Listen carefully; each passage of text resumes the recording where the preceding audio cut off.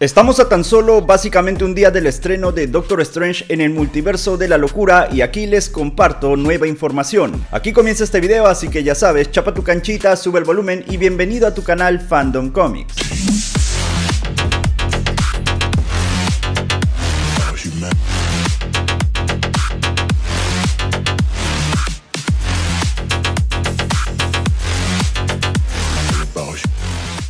Ha sido un largo camino compartiendo rumores, filtraciones e información sobre multiverso de la locura. Sé que hay mucho que se ha filtrado por la premiera ayer en Los Ángeles, pero hoy me enfocaré en una sola filtración que es sobre el juicio de Strange porque me parece bastante interesante. Recuerden que con el tema de los rumores y filtraciones las cosas terminan siendo ciertas, falsas o hay cambios en el camino. Así que estén tranquilos y esperemos al estreno final de la cinta. Vayan con la idea de ver una buena película de Sam Raimi enfocada en Strange y Wanda, ya que desde la Comic Con se dijo que Wanda será un personaje principal al igual que Strange. Sé que está de más decir esto, pero igual se los voy a decir. Si no te gustan los rumores o filtraciones o posibles rumores o posibles filtraciones, entonces no sé por qué estás aquí. En el canal siempre se ha compartido esta clase de información, y si no te gusta entonces no deberías ver esta clase de videos. Si lo estás viendo es porque tienes un problema de autocontrol y eso ya no depende de mí. Es una última alerta de spoiler ya que la información indica lo siguiente. Strange y Chávez se despiertan encarcelados en la guardia de los Illuminati. Vemos que Christine Palmer de este universo trabaja allí y arregla el agujero quemado en la capa de Strange con una mancha azul. Mordo llega poco después y dice que los Illuminati lo verán y juzgarán a Strange. Los androides lo llevan a una sala del tribunal donde se sientan los Illuminati y están listos para comenzar su juicio.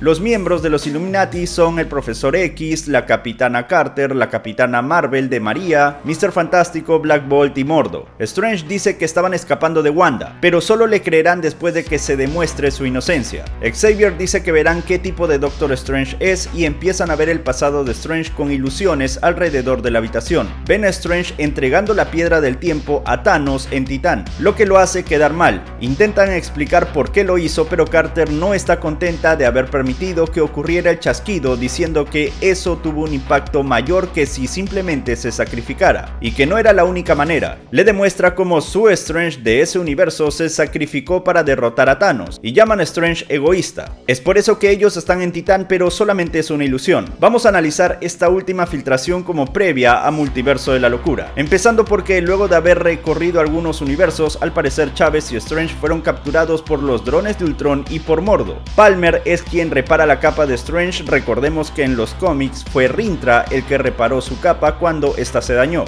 Los Illuminati están juzgando al hechicero supremo por sus crímenes al detectar que él pasó de una realidad a otra, y eso estaría prohibido. Por lo tanto van a ver si él es una amenaza para el multiverso ya que puede afectar una realidad, pasar a otra y afectarla también, y así destruir billones de vidas. Charles Xavier usaría una variación del poder que usó con Eric en primera generación, donde hizo recordar momentos bonitos de su vida, pero como este Xavier es mucho más viejo y es la versión de Patrick Stewart entonces su poder es mucho más grande, así que permite a todos los Illuminati ver una proyección del pasado de Strange. Aunque es posible que la cámara de los Illuminati funcione como una especie de cerebro para que todo el mundo pueda ver la proyección al momento de que Charles está hurgando en la mente de la persona que está juzgando. Como decían filtraciones previas, el chasquido de Thanos no debió ocurrir, porque Carter menciona que Strange debió sacrificarse para prevenir esto, así como lo hizo el Strange de su universo. Esto me causa cierta intriga, la base Illuminati estaría situada en el universo utópico donde todo es florido y fue Strange quien se sacrificó para evitar el chasquido de Thanos. Por lo tanto, el maestro Mordo y la capitana Carter vendrían de ese universo. Recordemos que en la serie What If, la capitana Carter fue despertada en la actualidad y junto a una nueva alineación de los Vengadores derrotan a Loki. Así que o bien Mordo y Carter son de ese universo y los otros Illuminati son de otras realidades, o tal vez esta es una variante de la capitana Carter de What If.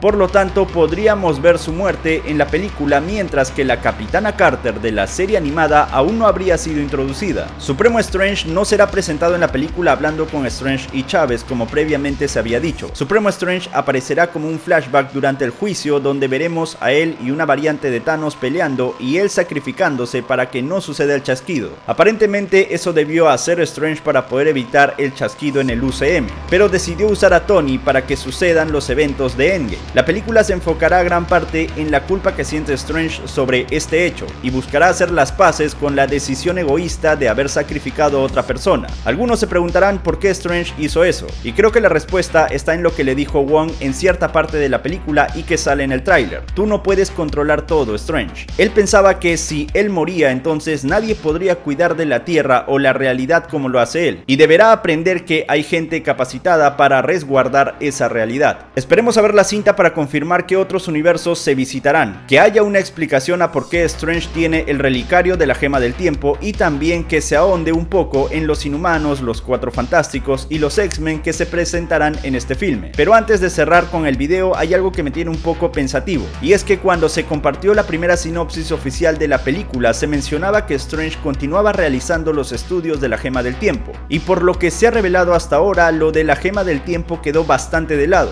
Ojalá la cinta explique cómo Strange usa este relicario del ojo de Agamotto sin el ojo en ella, para así acceder a nuevas habilidades. Que se diga que el relicario es un artefacto mágico y muy eficiente con o sin la gema del tiempo en él. Recordemos que mañana sale el video del episodio final de Moon Knight y también habrá un directo para hablar un rato de multiverso de la locura pero con spoilers. ¿Qué opinas acerca de esta información? Déjame todas tus opiniones, todas tus expectativas sobre la película y también todas tus teorías en los comentarios.